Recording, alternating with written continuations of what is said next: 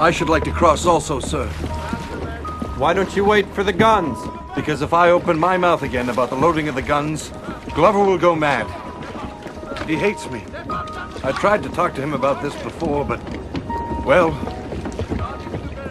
he insulted me. How?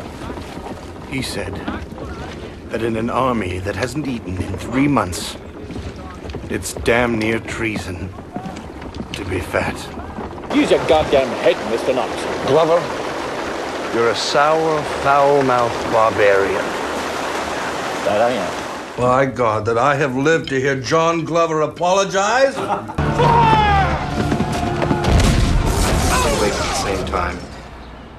Most nights he's out scavenging through abandoned houses looking for stuff to sell. How long has he lived here? A couple months. After the floods, he went to Ohio, stayed with an aunt. Then he came back to New Orleans to look for his dad. Did he have some reason to think that his father was alive? I don't think so. I just get the feeling that without the body, it's just been really hard for him to deal with everything. How about this guy? The FEMA guy? he was here yesterday. He doesn't work for FEMA. Why would anybody pretend they did? That's a good way to get your ass kicked. Well, what did he want? He said Jess had some money coming. I asked him if there was any money for me, and he just said no. And that was it?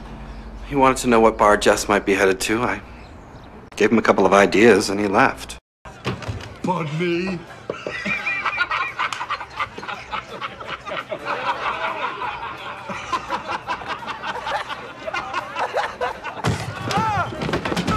I'd say the explosion finished them off, but no food, no water, won't last long. I didn't think I set off two explosions.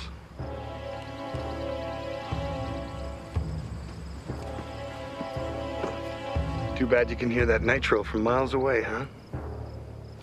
Where am I supposed to park? In a tree? hey, make a tree! Hey, screw you, Frenchie! Do I won't, guess I can, and if I don't, because I wanna.